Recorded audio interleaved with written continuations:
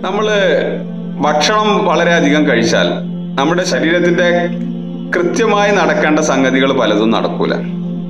ഒരു ഉദാഹരണം പറയാം. നമ്മളെ ഇബാദത്തുകളിൽ വലിയ കുറവ് വരും ഭക്ഷണം കൂടുതൽ കഴിച്ചു കഴിഞ്ഞാൽ. അതുകൊണ്ട് നമുക്ക് ചില ആളുകൾ പറയാറുണ്ട് നിസ്കരിക്കണം ഭക്ഷണം കഴിക്കണതിന് മുമ്പ് നിസ്കരിക്കണം. കാരണം ഭക്ഷണം കഴിച്ചു കഴിഞ്ഞാൽ പിന്നെ നിസ്കരിക്കാൻ വരെ ബുദ്ധിമുട്ടാണെന്നാണ്. അങ്ങനെ ഭക്ഷണം കഴിക്കരുത്.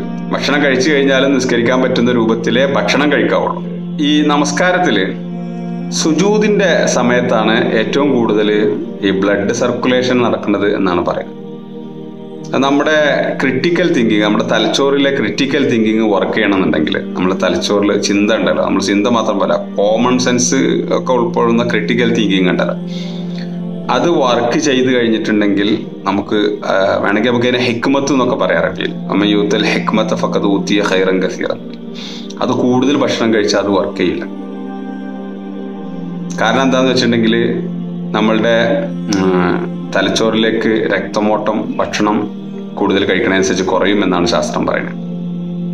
അപ്പോൾ നമ്മൾ കൂടുതൽ ഭക്ഷണം കഴിച്ചാൽ നമ്മുടെ രക്തധമനികളും നമ്മളുടെ ആ പരിപാടികൾ മൊത്തം ദഹനവുമായി ബന്ധപ്പെട്ട് കിടന്ന് കെട്ടി കറങ്ങുന്ന അറിയണം അപ്പൊ അവിടെ അവിടെ പണി കുറഞ്ഞിട്ടുണ്ടെങ്കിൽ ആ പണി തലച്ചോർക്ക് കൊടുക്കാൻ ബുദ്ധി കൂടും.